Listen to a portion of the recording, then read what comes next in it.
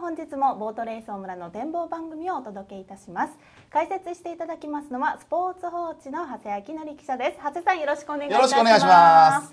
えさてスポーツ報知杯本日2日目を迎えましたね。はい昨日華々しく開幕しましたと言っていいですかね。はいそうです。長谷さんのレースですね。はい。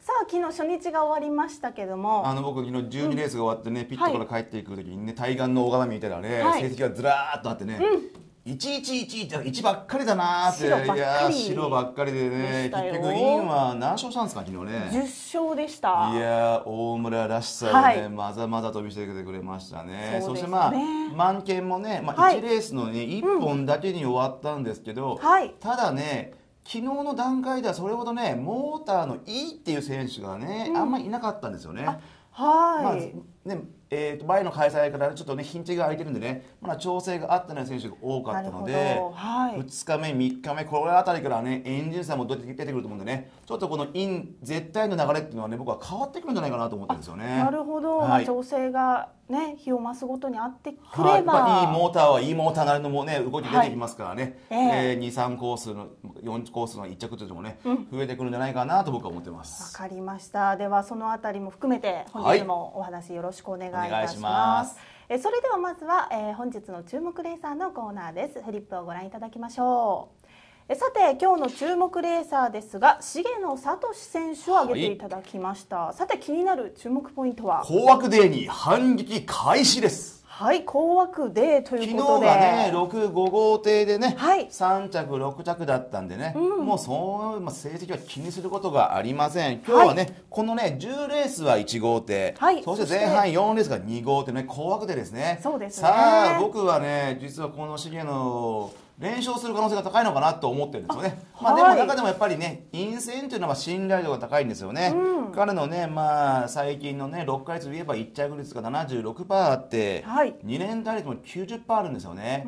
で昨日はね、まあ、9レース、12レースで、まあね、あんまり時間の、ね、なかったの調整がねできない状態だったんですけど、足合わせするとね結構勝ってるっていうんですよ。だから足に関してはね、はい。問題はないと思います。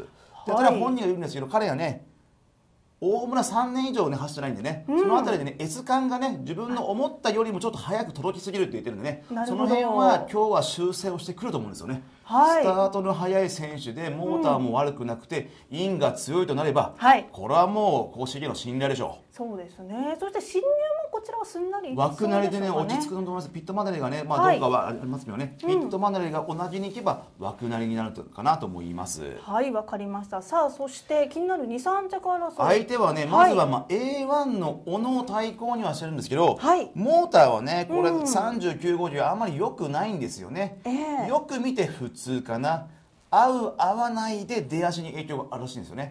そうなんですね、はい、でモーターに言えばね、こはい。の金子選手のこうですね。49がやっぱりね、大村のエース好きなんですよね。はい。さんにね、昨日もね、終わったらどうですか？いや、はい。どこがいいってとこがないんだけどね、ええ全体的にいいぞって。あいいのかと。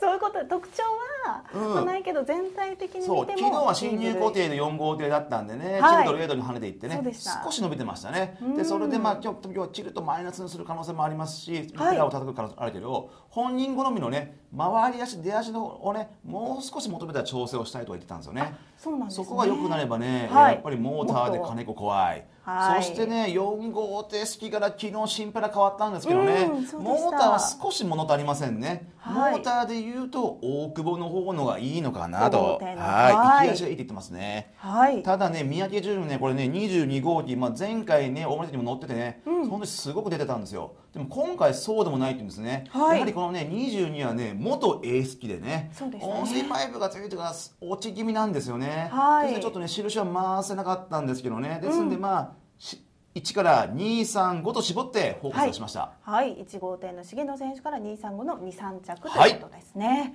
はい、わ、かりました。ありがとうございます。さあ、ということで本日の、えー注目レーサーは重野聡選手を挙げていただきました。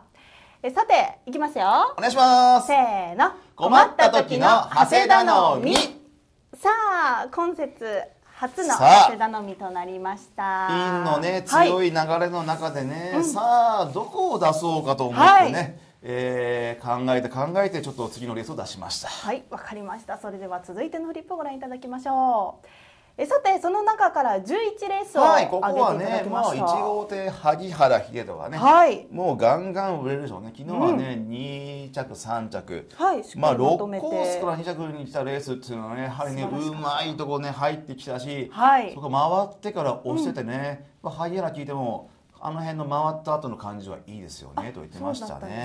ね。はい。そしてね、まあ、4号艇に宮地がいる、初日唯一の連勝した選手がいるんですね。そうでした。でまたこの4角っていうのは怖いんですよね。はい。まあでも本戦は萩原が逃げての、まあ、宮地角から攻めて、はい。そしてね国崎佐藤大輔、うん。この辺絡めてのね、まあ、1から423まあ1412っていうのは僕の中では集めと思うんですけどね、はい。えーとそこでまあ3 3着争いというまあ本戦なんですけど、はい。やはりねここの宮地の角が怖いっていうのが3号艇佐藤がね、はい。フライング休み明けそれも90日の休み明けなんですよね。しばらくレースをしていないとでいうことで、昨日もねスタートタイミングがね、うん。25と26、はい。決して早くはないんですよね、うん。え本人はまあね前勤日っていうのはねはい。もう二度とフライングが切りたくないともう切らないと。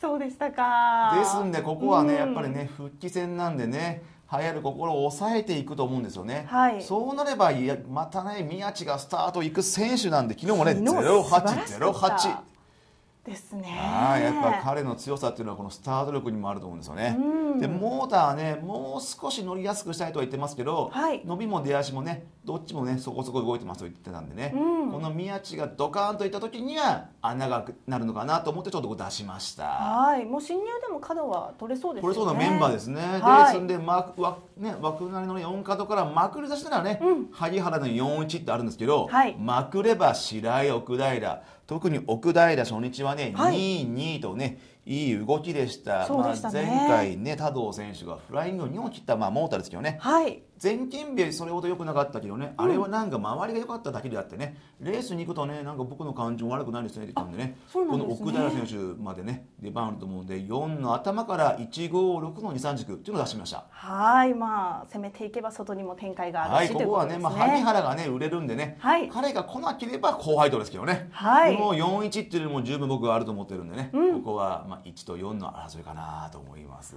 はいわかりました。ありがとうございます。さあということで本日困った時の長谷頼みは第11レースを挙げていただきましたので皆様ぜひ参考にされてください、えー本日も解説をいただきましたのはスポーツ報知の長谷明則記者でした。長谷さんありがとうございました